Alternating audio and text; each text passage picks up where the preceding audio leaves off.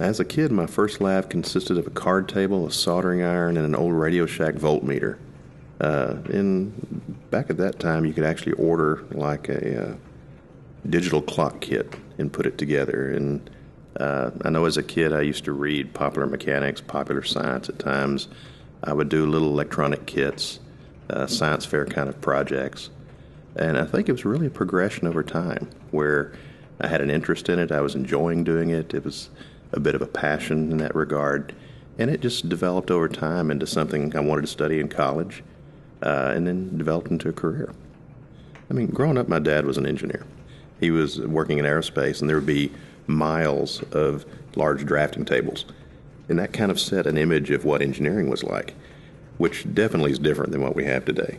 Uh, a lot of the work we do is, you know, really in the computer. It's in the database, and you don't see it till you know years later when you actually get silicon back, and then when you can actually buy a product. By that point, it's so buried inside the box you can't really even see it.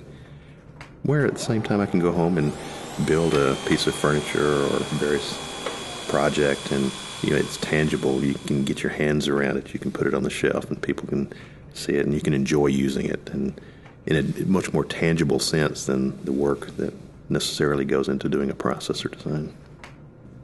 I think in some ways the world perceives engineers as a kind of class of super intellectuals over here somewhere.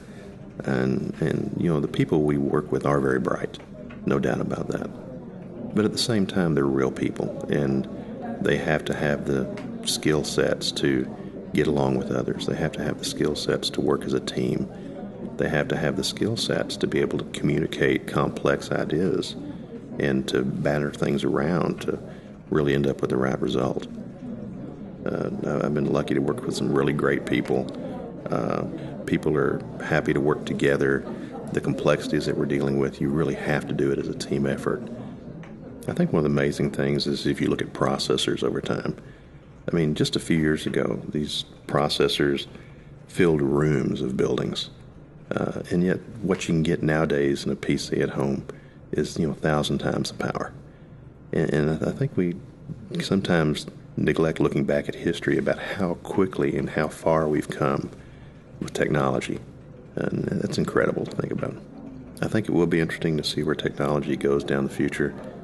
Uh, I mean, obviously, we have the incredible ability to bring compute power to bear nowadays. I think fusion can be a big part of that, obviously. Uh, and the question is, where will the applications go? I mean, facial recognition. I mean, really good voice recognition.